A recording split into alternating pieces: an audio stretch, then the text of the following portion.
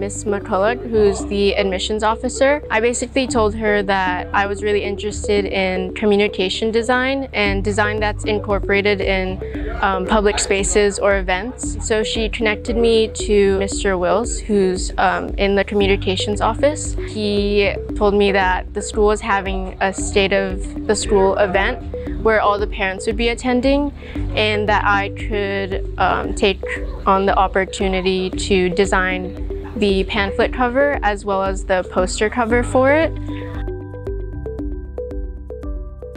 I was inspired by The New Yorker because I've always been interested in connecting visuals to current topic and I feel like their style is very um, minimal and it also ties a lot of illustrators with journalists, which I'm really interested in that. So Sir Wills gave me a lot of feedback on things that I should incorporate or um, what the state of the school event was in the first place. So taking in all of that uh, feedback and a few tips from the graphic designer here as well as the um, communications office, I started to refine my process of um, what I really wanted it to convey, which was the future of the school and sort of what learning would look like for future students who are right now maybe in um, the ELC, ES, or even MS.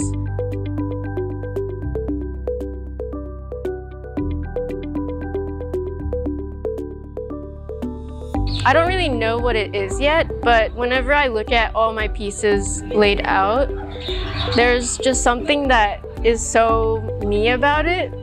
It's kind of weird to say myself, but it is something that I really notice. I guess that's why it's so important is it's a way that I express myself, but it's also a way that I sort of track my evolution as a person. Um, so yeah.